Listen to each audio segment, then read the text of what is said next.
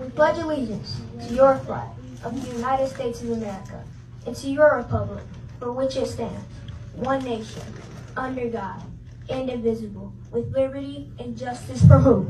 For you? For some? Not for us. Not for our people. So please stop saying we're equal. With your flag of red, white, and blue, you beat us.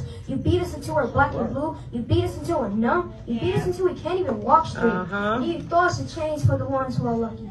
But for the ones of us who aren't so lucky, you chose to put our hands up with some type of sick tribute to your privilege. And then you pull the trigger. You pull the trigger until our bodies lay down in your ground. You pull the trigger until your clip is empty. You pull the trigger until we make the evening news. And when our children cry, we have to look our children in the eyes and tell them that they have to be cautious when they walk your streets. And that they have to do so in fear. And that they have to spend an entirety of their life looking over their shoulder because you will hunt them down.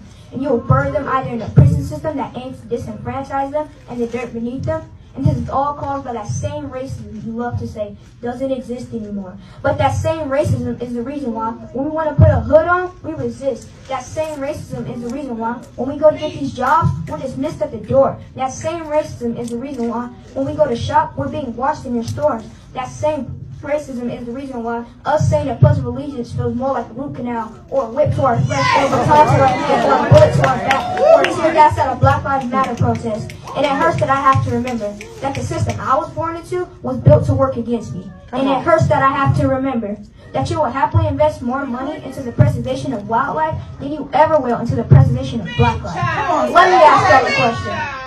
When y'all turn on y'all TVs and witness another dead body laying down on the ground, what do y'all see? Another murder? Another sad story? Another funeral? You see the aftermath? I see a little child who just lost their father. Another single woman trying to raise a man.